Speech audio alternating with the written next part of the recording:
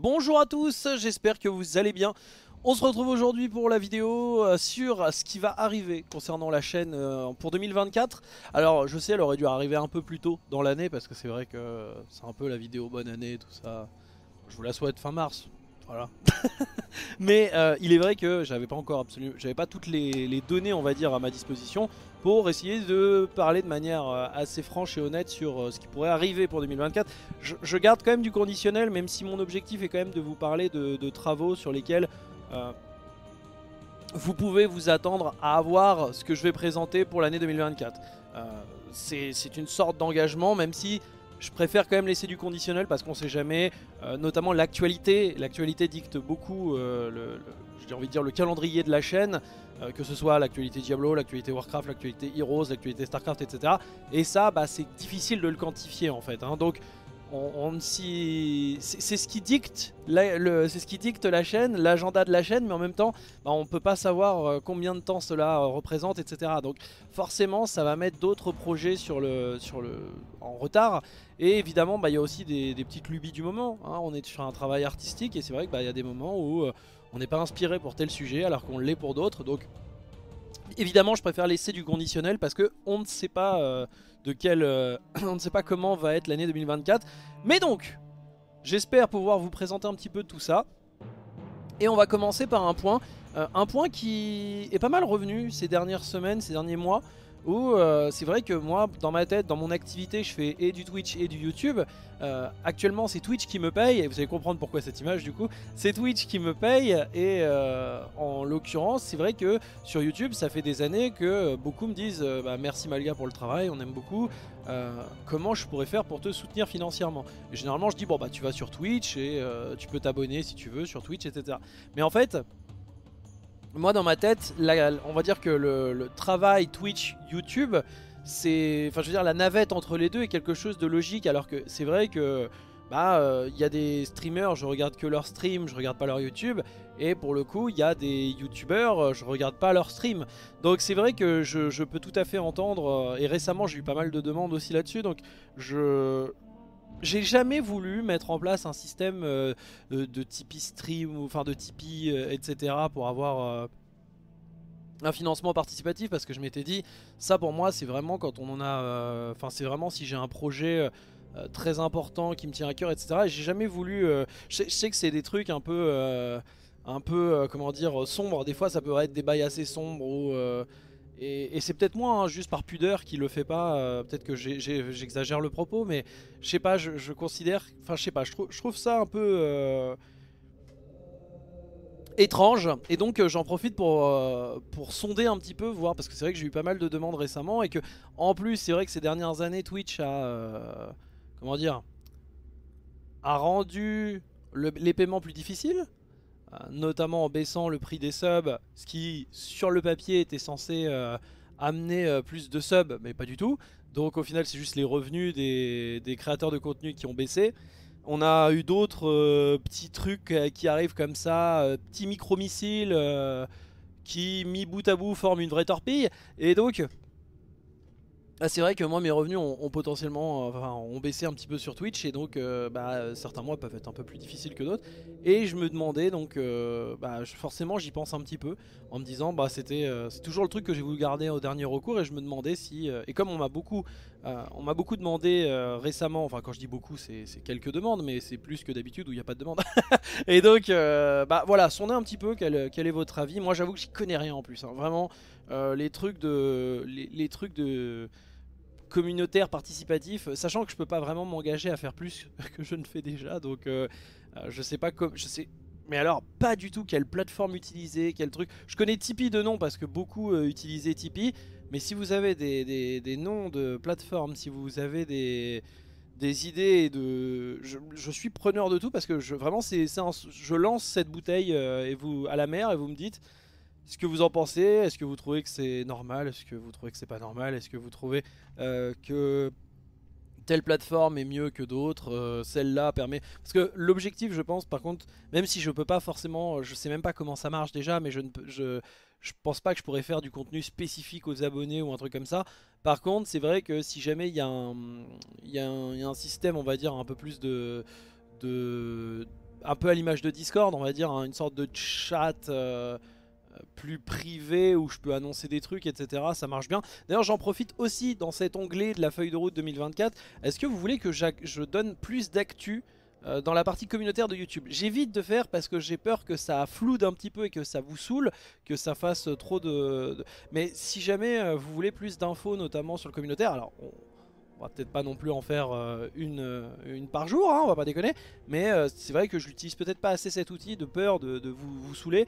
Mais faut pas hésiter. Vous me dites si vous aimeriez avoir plus d'infos. Alors bien sûr, c'est pareil dans, mon activité. C'est généralement, bah, moi je vous, je vous conseille de venir sur les réseaux sociaux. Mais je sais que certains ne l'ont pas. Et pour de, de, nobles causes, enfin de nobles raisons, hein, bien entendu. Mais c'est vrai que je peux, ce que je peux vous conseiller c'est le Discord. Le Discord, euh, Discord, Twitter, Facebook. Alors Twitter, Facebook je peux comprendre que ce soit évité. Discord pour le coup c'est vrai que je mets mes plannings de stream, je mets euh, les dernières vidéos qui sortent etc. Donc peut-être que ça peut, euh, ça peut être intéressant mais l'onglet communautaire peut très bien fonctionner aussi. Donc là-dessus vraiment c'est la partie sondage où je... N'hésitez pas à me donner vos impressions et ce qui va me permettre peut-être de, de prendre des décisions là-dessus. Dans tous les cas, on va passer à ce que vous êtes venu euh, regarder avant tout. On va commencer par Heroes of the Storm. HOTS, alors pour Heroes, euh, on va continuer évidemment les analyses de patch. Hein. Euh, il y a eu des patchs ces derniers mois, et donc pas encore là cette année, mais on a eu des patchs. Eux aussi, ils sont comme moi, commencent leur année en mars, hein, bien probablement. quelques, guides évidemment vont être prévus. Je sais que je devais faire euh, le guide du terre, je devais faire, euh, je devais faire plusieurs guides. Euh, je sais pas si jamais il y a des, persos qui vous tentent. Après, regardez quand même les patchs. Sachant que ce qui est intéressant avec les guides actuellement sur Heroes of the Storm, c'est que vu qu'il n'y a pas énormément de patchs, ça fait que des guides qui ont 5 ans, bah, ils sont toujours d'actualité. Donc ça c'est vraiment très très intéressant pour moi. Parce qu'ils restent sur la durée et ça j'aime bien, moi j'aime bien m'inscrire dans la durée plutôt. Euh, à côté de ça, bien sûr, les replays de tournois et de matchs officiels, pas tous, mais euh, ceux que je sélectionne qui, je pense, sont intéressants pour, euh, sur la durée. Et nous avons également, nous avons également un guide Alterac qui est prévu, qui, comme pour Anamura, serait un guide de map. Alterac étant plus simple, je dirais, que d'autres cartes. Euh, je pense que c'est... Ah, je ferai pas toutes les maps je pense mais euh, Alterac là-dessus est un peu plus simple et ça faisait partie des... Ça faisait partie des Donation Goals du Live euh, Event, on en reparlera en fin de vidéo donc je, compte faire celui-là. après c'est vrai que ce qui est un peu triste avec le contenu héros, je sais que certains aimeraient en avoir plus mais c'est vrai que moi j'avoue que j'ai une démotivation concernant le contenu Heroes parce qu'à chaque fois que je sors du contenu Heroes bah ça prend du temps quand même à faire hein. et au final notamment un guide de map, guide de map c'est très long, Anamura elle me l'a encore là, hein, la, vidéo guidée à Namura où on m'a demandé pendant des années, des années, des années. Et c'est vrai qu'il y a un désintérêt sur du contenu Heroes qui a tendance un petit peu à me démotiver. je sais, hein, euh, vous allez me dire, bah ouais, mais nous, euh, certains, nous, on regarde, etc. Je sais, mais c'est vrai que d'un point de vue créateur, c'est un, peu, euh, un peu démotivant. Voilà. Je préfère être totalement transparent avec vous. pour ce qui est de Warhammer, alors, je mets Warhammer avant Starcraft, Diablo, Warcraft. Je sais, certains vont se dire, oh là là, doucement. Alors, pour ce qui est de Warhammer, petit rappel quand même. Warhammer, à la base, c'est du hors-série. En termes de vidéos de lore. Bien sûr, je vais continuer à faire de l'actualité sur les différents patchs qui arrivent pour Total War Warhammer 3. Euh, on va continuer à faire, on a mis en place un petit peu des soirées lore euh, et je mettrai les rediffs aussi. Soirées lore avec Gilgak euh, concernant Old World, Warhammer Old World, etc. par exemple, là, on n'a pas encore l'annonce de la roadmap pour 2024 pour eux aussi, du coup, ils commencent l'année en mars. Et euh, continuer des guides, notamment j'avais prévu de faire euh, le troisième guide, c'était le guide de l'Empire pour Total War Warhammer. Le problème, c'est que, eh bien, le, patch, euh, le patch enfin Tamur 4, pardon, le patch Throne of Decay a été retardé. Donc c'est vrai que bah, au final, moi perso, je suis dans l'attente du rework de l'Empire avant de faire mon guide. Hein. Ce serait bête de faire un guide pour qu'il soit obsolète au bout de deux mois. Encore une fois, je préfère m'inscrire dans la durée. Euh, et globalement, donc voilà, on va continuer les actus concernant Total War, Warhammer et donc Warhammer Fantasy Battle de manière générale. Et pour ce qui est des vidéos Warhammer 40 000, là je sais que je vous ai sorti trois vidéos et donc j'ai vu beaucoup de messages. Alors je pense que certains ne m'ont pas bien écouté.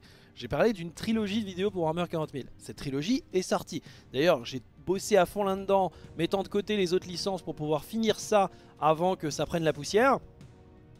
Ça ne veut pas dire que je vais faire 10 000 vidéos de lore sur Warhammer 40 000. L'objectif était de garder un côté hors série.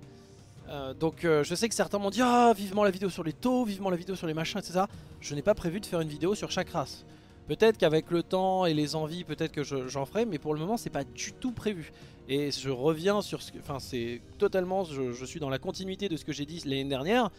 Warhammer, le problème c'est que si je commence à faire beaucoup de vidéos sur le lore de Warhammer, c'est les autres univers qui sont impactés, notamment Diablo, Starcraft et même Warcraft. Euh, Diablo Starcraft, ça fait euh, plusieurs années où, euh, bah, je suis désolé, mais c'est vrai que l'actu Warcraft est haute. Bon, Starcraft, l'actu Starcraft en ce moment, bon, il n'y en a pas des masses, hein, donc ça joue aussi. Mais bah, du coup, c'est par exemple pour Diablo, on va y revenir, mais bah, Diablo Starcraft, c'est les plus impactés dès que je sors beaucoup de vidéos sur Warhammer en fait. Donc, je peux pas me permettre de faire de trop m'éparpiller en fait sur plusieurs univers. Je vous rappelle que je suis tout seul. Hein. Euh, sur Warcraft, j'ai Evanestor qui m'aide énormément, mais sinon je suis tout seul à l'écriture, au montage. Euh, alors montage, je, prépare pas montage en direct, mais montage en, amont. Euh, donc je, suis tout seul pour faire ça. Donc je, je peux pas. Je, peux pas me disperser dans tous les sens. Sachant que, encore une fois, c'est pas YouTube qui me paye, c'est Twitch. donc j'ai mes streams à faire. donc voilà. Ça, c'est pour le petit rappel, bien, bien, enfin, qu'on soit bien clair des vidéos de lore Warhammer Warhammer 40 000, ne les attendez pas. Je pense faire une vidéo de débunkage qui touchera Warhammer 40 000, un peu comme les Tyrannies et les Ergs, faire un truc sur euh, Terran et Space Marines. Mais euh, pour le coup, et je suis même pas sûr que ce soit 2024, ça, hein, mais euh, j'avais ça en tête, qui mûrit un peu dans ma tête, mais pas, plus loin. Donc, calmons-nous hein, là-dessus, vraiment, j'ai l'impression que certains m'ont pas trop trop écouté. Dans les vidéos, quand je dis moi-même, c'est une trilogie de vidéos, c'est une trilogie, c'est pas 4. Sinon c'est autre chose. On va pouvoir attaquer justement Starcraft. On parlait de Starcraft, donc j'ai du retard. Bien sûr, j'en suis désolé. Euh, pour tous ceux qui me suivent pour Starcraft, j'en suis désolé. Euh, je... Après, pour ma défense, c'est vrai que... Bah après, du coup pour vous c'est horrible parce qu'effectivement euh, on n'a pas eu de... Comme vous savez, enfin là c'est la, phase de, creux, on va dire, c'est la phase de, temps mort pour Starcraft par rapport à Blizzard. Il faudra encore attendre une demi-décennie probablement pour avoir pour avoir des news, bah forcément, c'est vrai que euh, les, vidéastes, c'est peut-être ce qui peut vous permettre d'avoir un peu d'amour pour StarCraft, mais j'avoue que bah, comme il n'y a pas trop d'actu, bah, je mets ça un peu de côté, et pourtant c'est un univers que j'adore, StarCraft. Et au final, sachez que pour euh, les missions Nova, eh bien, euh, Evanescor m'a aidé à faire le script. Du coup, le script est terminé. c'est plus moi maintenant qui dois travailler de mon côté à le mettre en, scène. Mais l'émission Nova devrait sortir pour 2024. Ça, j'en prends l'engagement. Vous me reviendrez me chercher si elle n'est pas sortie euh, en 2024. Mais je prends l'engagement de la sortir pour 2024, ça c'est sûr. Pour ce qui est de la suite de StarCraft 2 Mission Nova, certains pourraient dire c'est terminé. Non, derrière il y aura StarCraft Evolution, j'en avais parlé sur la vidéo de chronologie des Protoss. Les vidéos de chronologie, euh, elles sont passées un peu inaperçues je pense dans le flow euh, des, vidéos. Donc euh, si vous vous intéressez à StarCraft, allez regarder les dernières vidéos qui sont sorties, notamment les vidéos de chrono, parce que c'est des vidéos un peu résumées de race, elles font pas mal de choses. Et en l'occurrence j'avais donné un peu mes actus à StarCraft concernant cette vidéo. Donc Mission Nova pour 2024, Evolution je ne sais pas encore, c'est le roman qui est la, clôture, j'ai envie de dire, et qui est en même temps l'ouverture de la suite de la saga StarCraft. Et derrière, on aura les BD StarCraft, donc ça, je pense que je, les, je ferai... Euh, d'ailleurs, ma première lecture de BD a été, euh, a été une BD StarCraft, donc je, maintenant que je l'ai fait sur Warcraft, je pense que je le ferai sur StarCraft 2. Et peut-être faire un résumé, euh, je ne sais pas si je ferai un résumé ou juste la lecture des BD, on verra. En tout cas, pour Evolution, je préfère pas m'engager, mais c'est la suite de la série. Et une fois que j'aurai fini tout ça pour StarCraft, je pourrai faire des vidéos dédiées à un personnage plus qu'à un autre. Euh, voilà, ce sera l'objectif. Pour ce qui est de Diablo, alors oui, où sont les vidéos Diablo Immortal? Je sais, je sais, je sais, euh, je n'en ai fait aucune pour le moment. J'avoue que j'ai pas d'inspiration. Je parlais de des fois d'avoir d'inspiration, etc.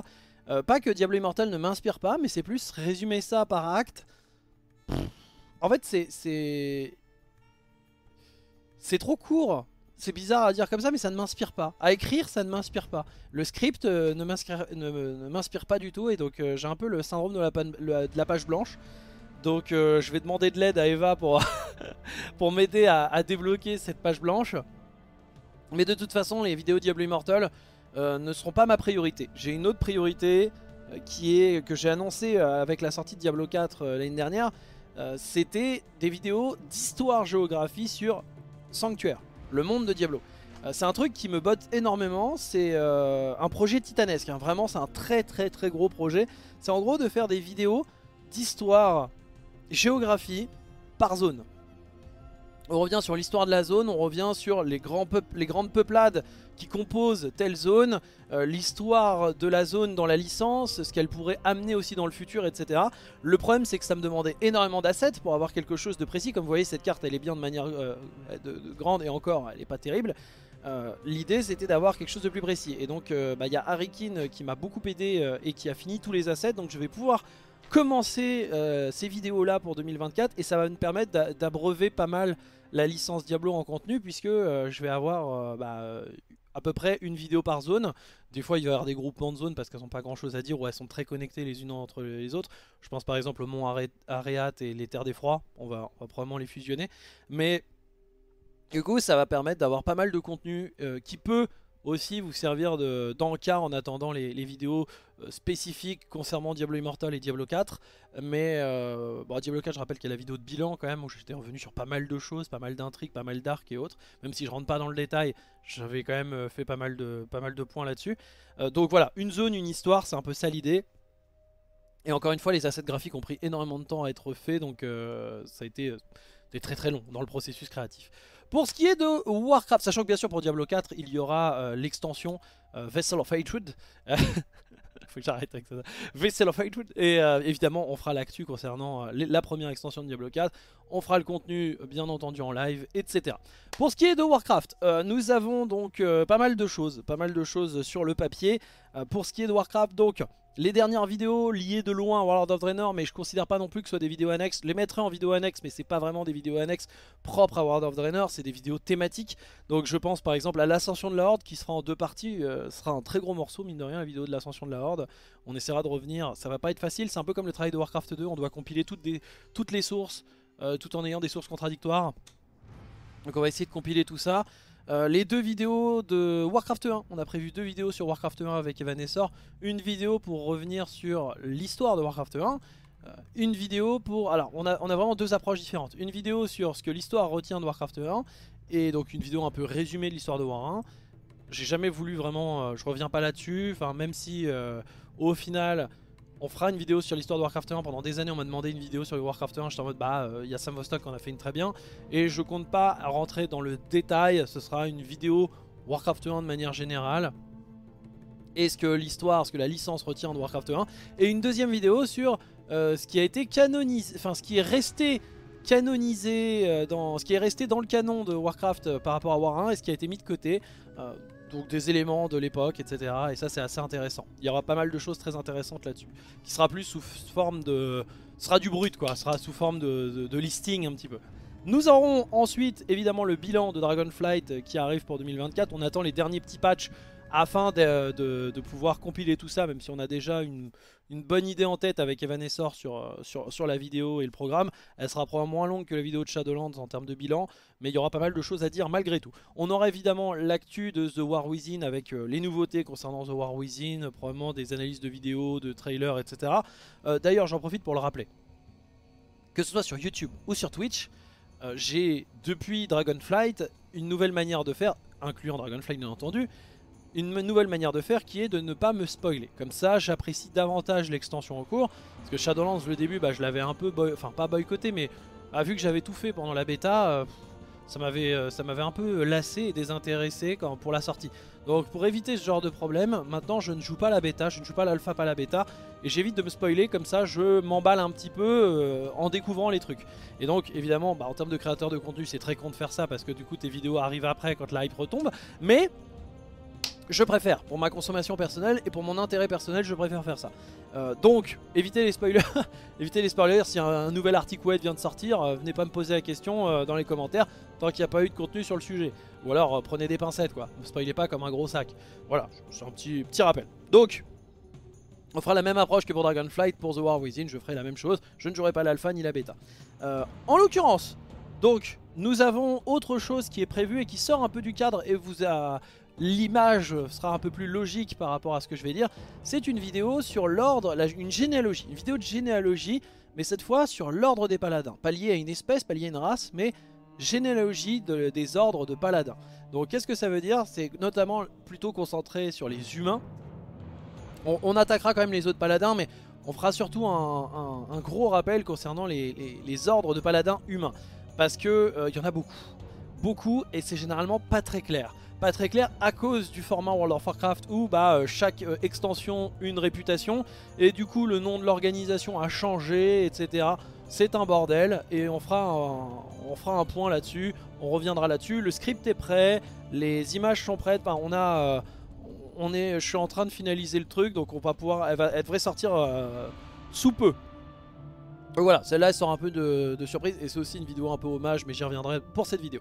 Euh, nous avons ensuite, évidemment, pour 2024, le gros morceau qui euh, incorpore d'autres gros morceaux dans son giron. C'est évidemment, euh, en ce moment, on fait une année, une extension. On a fait World of Draenor l'année dernière, on a fait Mist of Pandaria il y a deux ans. Cette année, l'objectif, évidemment, ce serait de faire Légion. Mais je vous arrête tout de suite. Légion, ça va pas arriver comme ça. Parce que c'est quand même un très très très très gros chapitre, mais surtout en dehors d'être un gros chapitre, Légion, en termes d'extension, bah évidemment nous on va devoir, on va jouer en stream avec Evanescor et faire l'extension avec euh, bah, les différentes classes, euh, faire les fiefs, etc. Ce qui va nous prendre beaucoup de temps. Alors pas les fiefs, les halls de classe, on s'en fout, c'est la même chose, fiefs de classe. Euh, donc on va avoir beaucoup de travail en, termes de, gameplay déjà, en termes de, jouabilité, voir un petit peu redécouvrir les, zones, etc. Je crois que moi Légion, je l'ai fait qu'à la fin, donc j'ai encore des, éléments de Légion qui me manquent. Mais surtout, en fait c'est tout ce qui arrive en vidéo annexe de Légion qui va être un gros morceau. Notamment, pas pour rien que j'ai choisi cette image aussi, notamment la guerre des anciens. Ça y est, nous y sommes mesdames et messieurs, pour ceux qui me suivent depuis des années. La vidéo sur la guerre des anciens, m'a toujours demandé est-ce que j'en ferai une un jour, j'avais dit oui, mais pas pour le moment. Eh bien ça y est, vidéo sur la guerre des anciens, forcément elle arrivera dans le giron de Légion et je pense même qu'elle arrivera avant Légion. Ça va permettre de, pouvoir, euh, euh, dans la playlist Warcraft on a fait un truc chronologique, ça permettra de relier un peu plus facilement tout ça avec l'ascension de la Horde qu'on prépare, plus la guerre des anciens, plus... Euh, plus Warcraft 1, etc. Ça va permettre de relier toutes les vidéos qu'on a déjà faites plus facilement, plus logiquement. En l'occurrence aussi, bah, l'ascension de l'ordre fonctionne avec Légion, hein, on va pas se mentir, mais la deuxième invasion de la Légion Ardente s'est constituée à partir de la formation de la Horde, donc on est aussi dans le giron de Légion, hein. c'est un point WOD et en même temps Légion et en même temps un contexte de manière générale. Donc là-dessus ça, va être, va être, ça va être un gros morceau. Évidemment, il y aura toutes les vidéos annexes de Légion, notamment une chronologie de l'histoire ancienne. On a fait deux vidéos de chronologie de Warcraft, une sur les STR principalement et de manière générale un peu WoW, et une plus récente sur vraiment on se concentre sur WoW avec les années, les extensions, tout ça, surtout avec la, chronologie récente, euh, où on a eu enfin un retour de la chronologie euh, Warcraft euh, avec la durée des extensions, même si pour le moment on n'a pas de d'infos sur la vidéo, enfin sur Dragonflight. Est-ce qu'elle a duré un an ou deux ans, ça on sait pas encore. Voire plus, on ne sait pas. Et au final, eh, eh bien, euh, on fera une vidéo de chronologie sur l'histoire ancienne, puisque ça touchera la guerre des anciens, etc. Donc en gros, là, c'est même pas une vidéo sur Légion, ce serait plus une vidéo sur la guerre des anciens. et la vidéo sur la guerre des anciens, ça va être un très très très très très très gros morceau, qui sera probablement au moins en deux parties, voire peut-être plus, avec des vidéos pré-guerre des anciens aussi. Donc euh, ça va être... En gros, peut-être que cette année, il n'y aura pas de vidéo sur une extension, mais à la place, vous aurez la guerre des anciens, quoi, qui est plus gros qu'une extension. Donc, euh, je préfère pas m'engager pour Légion en 2024, mais en tout cas, c'est tout ce qui va arriver, tout ce qui gravite autour de Légion. Nous avons ensuite, pour terminer, euh, les événements de la chaîne Twitch, mais qui du coup bah, euh, sont touche YouTube également. déjà, je pense que vous l'avez vu un petit peu, mais il y a depuis 2000, enfin la fin de 2023, décembre 2023, j'ai remis en place des best-of de la chaîne Twitch, des best-of, et euh, merci à Bunsy d'ailleurs qui s'occupe de ça. Euh, euh, c'est le monteur du coup qui fait, qui fait toutes les vidéos que je paye hein, bien entendu pour, ces best-of Donc n'hésitez pas à aller les voir, les liker, les partager, les commenter bien sûr pour la visibilité des vidéos Mais en l'occurrence ce qui est vraiment important c'est que je me suis dit compiler deux choses Parce que maintenant il y a les best-of de, de, la chaîne Twitch Mais en plus de ça, donc il arrive en best-of mensuel. Mais en plus de ça, bah, chaque année, c'est vrai que les vidéos de rattrapage, vidéos de replay euh, des événements que je fais ne fonctionnent pas sur YouTube en fait tout simplement. Euh, certaines même n'arrivent pas à dépasser les 1000 vues donc c'est vraiment un, naufrage. Euh, mais c'est pas grave parce que moi j'aime bien ces événements à faire. Et en l'occurrence bah, ça va être l'occasion de lier l'un et l'autre, c'est-à-dire bah, avec le retour des best-of mensuels, faire un truc vis-à-vis des événements. Là par exemple, Euh, je suis pas encore certain de faire la Zilan, mais il y a de grandes chances que je fasse la Zilan. Je rappelle, j'ai fait toutes les Zilan, donc il y a de grandes chances que je refasse aussi la Zilan cette année. Mais j'attends, on n'a toujours pas l'annonce des jeux, donc j'attends un petit peu. Euh, il y a de grandes chances que je la fasse. Et en l'occurrence, bah, avoir un best-of sur la Zilan, euh, ça, pourrait être, ça pourrait être très sympa. On a donc la Zilan, j'ai les dates d'ailleurs, donc je vais en profiter pour les donner. Ce sera le 6 avril, la Zilan. Donc voilà, ça permettrait d'avoir d'avoir euh, en gros les VOD et autres sur, euh, sur YouTube également. On aura le E-Live le 14, 15 et 16 juin qui est un petit peu mon Z-Event à moi. Hein, euh, c'est le Z-Event des plus petits créateurs de contenu, j'aime bien l'appeler comme ça. Donc le E-Live qui bah, généralement est très sympa, on a, on a, pas mal de contenu de l'or hein, malgré tout. sur ces événements caritatifs, on avait lu des livres, on avait regardé des trucs. on se fait du Donation Goal assez drôle, assez intéressant. C'est de là que j'avais fait ma tier list ma tier list euh, des euh, quêtes d'armure ancestrale. Donc il y aura des choses rigolotes à faire. Et au final, évidemment, la BlitzCon euh, début novembre. Pour le coup, la BlitzCon, c'est vrai que c'est l'événement qui rassemble et que j'adore préparer avec Eva. On fera probablement la même chose que pour 2023, donc il faudra que je joue avec lui parce que là je, là je le prends en otage un petit peu. Mais on a passé un très très bon moment et on a eu d'excellents retours de votre part. Ça c'est vraiment par contre l'événement qui pour le coup, même sur YouTube fonctionne. donc euh, qui se fera probablement le 6 et 7 novembre, même si on n'a pas les dates officielles encore, mais c'est le premier week-end de novembre généralement. Donc euh, soit ce sera le premier, soit ce sera le 6 et 7, mais il y a de grandes chances que ce soit le 6 et 7. Donc le vendredi et le samedi. Et en l'occurrence, moi j'adore euh, j'adore préparer ce genre de choses, ça s'était très très bien passé l'année dernière. on a beaucoup rigolé, on a passé un très bon moment. c'est fatigant, c'est éprouvant, c'est un week-end long, mais c'est un week-end que j'adore personnellement, donc j'adore le coverage des BlizzCon, donc n'hésitez pas, voilà, vous me dites, je pense que c'est euh, la, dernière, euh, la dernière information. On a, on a pas mal d'infos, pas mal de choses pour cette BlizzCon 2024. Euh, ah oui d'ailleurs, en parlant de ça, parce que Eva va me disputer sinon, il m'a envoyé un truc. Eva m'a rappelé aussi, pour Warcraft, on a... alors, pas sûr que ce soit pour 2024, mais... On a également l'histoire des taurennes de manière générale. l'histoire d'Uther à Shadowlands, qu'on avait déjà bien préparé mais qui est jamais sorti. Euh, l'histoire d'une légende, Varrock Sorfang, mais peut-être qu'on la fera dans le giron de BFA celle-là au final. Peut-être qu'on la mettra de côté, on la mettra en vidéo annexe de Battle for Azeroth. Euh, l'histoire des hordes, ça c'est intéressant, une sorte de généalogie mais sur les hordes, euh, ce qui marche bien, qui fait un peu vidéo annexe Wood aussi ça. L'histoire de la lumière, on avait fait l'histoire de l'ombre vis-à-vis du vide, une vidéo débunkage. J'avais toujours, dès, cette création, j'avais évoqué le fait qu'on ferait, un jour une vidéo sur la lumière. Ça semble être une vidéo qui va se faire dans le giron de The War Within, avec euh, les, tarés de la lumière là, de The War Within, de... non, je confonds avec le chute lune, mais euh, le truc de, la lune, de la lumière là.